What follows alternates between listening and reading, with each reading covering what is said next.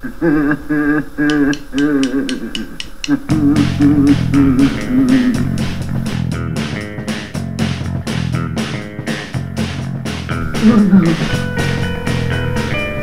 will not damn a lunatic soul. He knows that the powers of evil are too great for the God of his mind.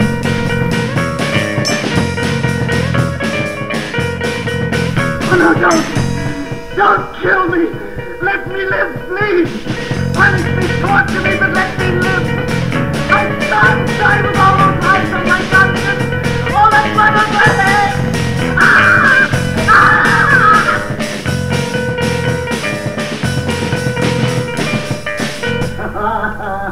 Ah!